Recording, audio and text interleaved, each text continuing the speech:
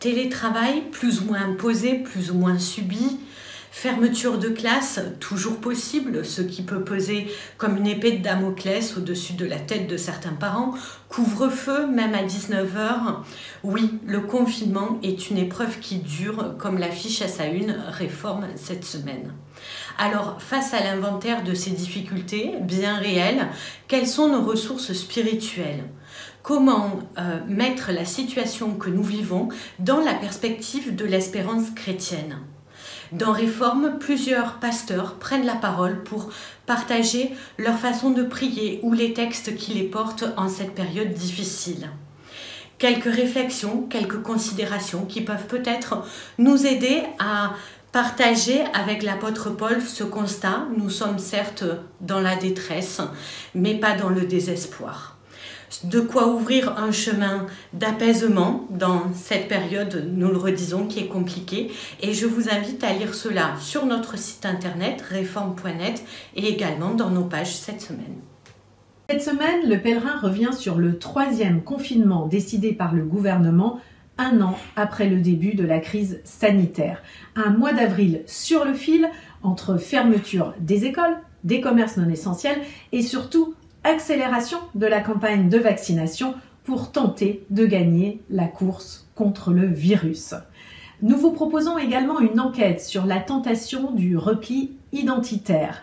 Origine, culture, sexe, religion deviennent aujourd'hui des prétextes à l'exclusion de l'autre et de ses idées. Comment en est-on arrivé là? Comment des mouvements antiracistes, décolonialistes, féministes sont-ils devenus sectaires? Le pèlerin décrypte le phénomène. Nous sommes allés également à la rencontre de Jean Hatzfeld, ce grand reporter bâti depuis plusieurs années une œuvre mémorielle sur le génocide des Tutsis au Rwanda. Il raconte son travail sur ce terrain douloureux à l'écoute du silence des victimes et des bourreaux. Bonjour, à la une de France catholique cette semaine, un beau dossier sur les convertis de l'islam, les musulmans convertis au catholicisme. Ils sont environ 300 à recevoir le baptême euh, chaque année.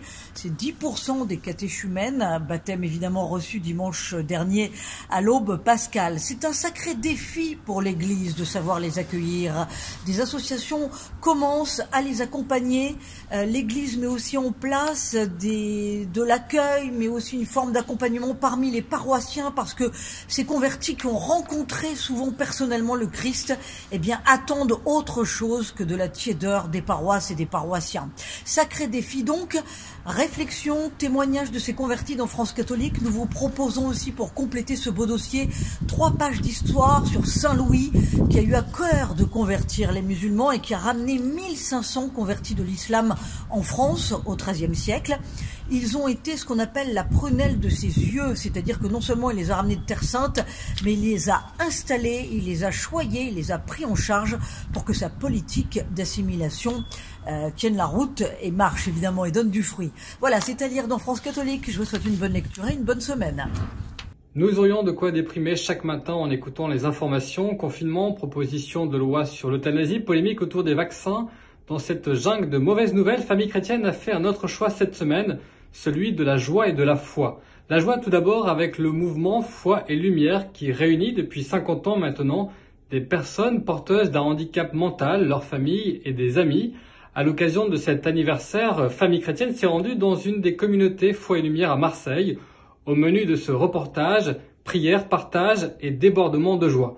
La foi ensuite, celle de la sœur Anne, cette religieuse birmane qui s'est interposée début mars entre les forces de l'ordre et les manifestants pour éviter un bain de sang. Dans un entretien à famille chrétienne, elle témoigne de sa foi profonde et de son courage. Dieu me donne le courage de sauver des vies autant que je le peux, nous confie-t-elle. Un témoignage poignant à découvrir dans Famille chrétienne cette semaine et sur notre site famillechrétienne.fr. C'est un marché mondial qui génère chaque année plus de 10 milliards d'euros de bénéfices et qui a des conséquences très lourdes sur la vie des personnes qu'il touche. Cette semaine, dans la vie, nous consacrons un long dossier à l'impact et aux conséquences de la pornographie, notamment à travers des sites internet dont l'audience s'est encore accrue depuis un an, notamment sous l'effet des confinements. Près de 9% des adolescents visionnent chaque jour des contenus pornographiques. Et ce marché, ce business, a des conséquences euh, en termes de violence faites aux femmes, sur l'éducation, en termes de dépendance, mais aussi des conséquences environnementales très lourdes. Tout cela, nous avons voulu le mesurer, l'établir, mais aussi proposer des solutions pour ceux qui seraient touchés. Comment sortir de la dépendance? C'est un dossier à retrouver cette semaine dans la vie, en kiosque bien sûr, mais aussi dès maintenant sur notre site internet.